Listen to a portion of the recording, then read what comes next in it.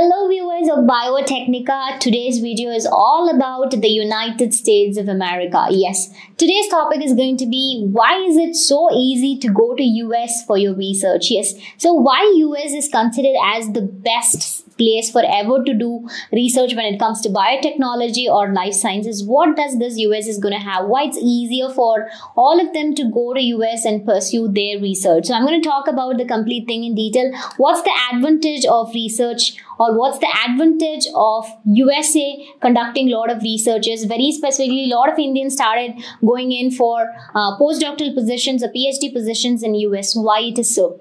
So there's a long history of excellence in research. Yes, when we talk in case of United States of America, when we talk a very long time back until now, they are literally maintaining the same excellence in the research. So they have a very long history of excellence in the research because you can see a lot of world renowned institutes or uh, universities and research centers are located at Un- United States of America. Not only that, they do have a lot of pharmaceutical companies and biotechnology company. So United States of America is the bio hub. We can say very specifically, we have to talk talk about that one. So, because of these reasons, uh, most of the people throughout the world wanted to pursue their research or wanted to do their research in the United States of America. This is one of the criteria. That's why people wanted to go to US, and that makes USA very easy for research. And the second important thing is it is actually a country which is a home to a large number of leading experts in various fields.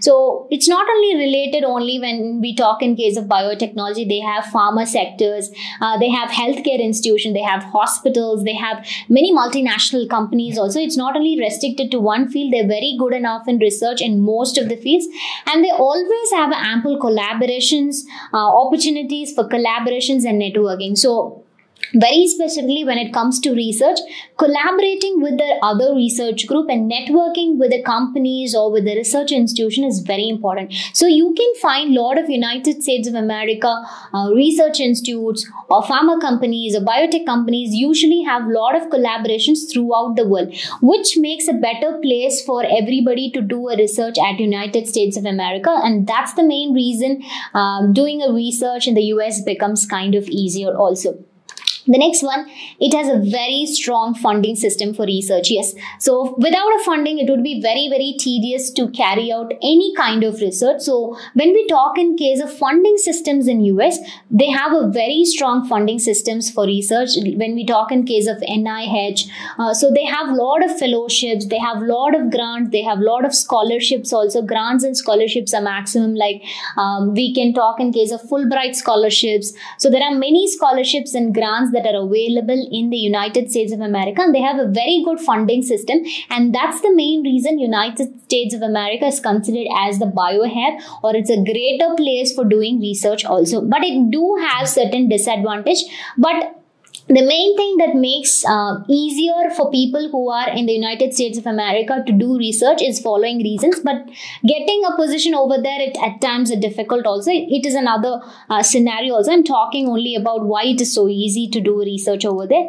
So they have a diverse and multicultural population. Yes uh, you can see people uh, from different parts of the country coming and doing research over there. So it provides a lot of wide range of perspective and ideas when we talk in case of this. So people from India, people from Canada, Germany, and people from China, Japan, many, many people who used to come to a specific place and they used to talk about the uh, scientific problem so you get to understand the different countries uh, scientific problem and you solve accordingly and you can understand how it actually works. That's an amazing thing that you can literally go for usa and large number of scientific journals and conferences yes. So i would not say that united states of america alone is going to have this is applicable for most of the countries. Like they do have a lot of uh, uh, scientific journals and conferences being conducted everywhere.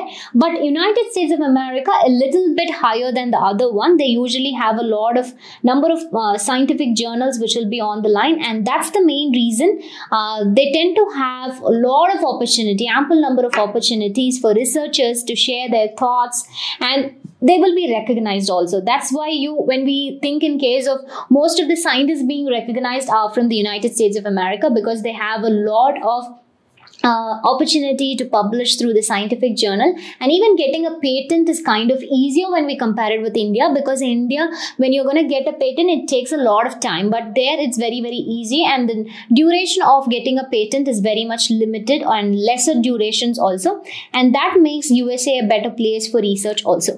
The next one is supportive and competitive research environment. Yes of course there are a lot of um, uh, infrastructures and they do have a lot of research facilities that are available, which makes it very, very uh, supportive for any researchers to do work over there. And it's very encouraging and it's innovative and it's very, very progressive. You can find people who are going res- doing research over there will land up in a job or come out to India and getting placed in a very different uh, research positions in research laboratories or they become a scientist in India in a research lab also. So it provides a competitive research environment and a very supportive research environment also also and it has a very strong infrastructure. As i already mentioned they have a very nice infrastructure and resources uh, state of the art laboratory facilities and equipments. Yes when we talk in case of laboratories the facilities the equipments everything is very very easy enough to fetch over there. And they have a number of universities and research institutes. as i already mentioned when we talk in case of very big universities like harvard university northwestern universities there are many tremendous university of pennsylvania uh, uh, there are so many universities and research institutions. They provide a lot of opportunities. So this makes a lot of people to get attracted to the United States of America.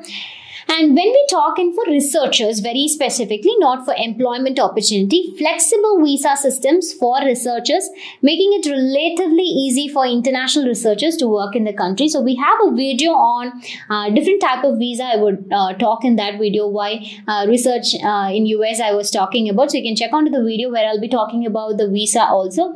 So getting a visa, J1 visa or H1B visa is kind of difficult, but the other system of getting a visa for the international researchers research is kind of easy when you get an opportunity from the US and they provide you an employment facility, then it is easy for you to get a visa also, except some of the scenarios. But most predominantly, it's easy enough if, when it comes to J1 visa, but H1B visa is a kind of difficult. And they have a very strong uh, tradition of scientific freedom, allowing the researchers to pursue their work without any fear of censorship or repression. Yes, so you've been given a complete freedom of doing your own research, so that makes it kind of very easy for any researchers to do work at the United States of America. So these are some of the advantage or some of the reasons that makes USA a very nice place to nice place to do your research over there. And that's why it becomes very easy uh, to do your research work at the united states of america. But uh, entering into a us and pursuing a research needs a lot of time and you need to uh, work hard too much enough to get a scholarship and get in over there. But if you get in over there and then the research becomes kind of easier because there are a lot of facilities available. But even though they have a lot of advantages uh, if you are going to be an international student there are some disadvantages advantage we'll be coming up with the next video also. Uh, just uh, stay tuned for the upcoming videos. We are coming with many more videos. Thank you all of you for joining. I'm going to meet you back again with another video. Thank you all of you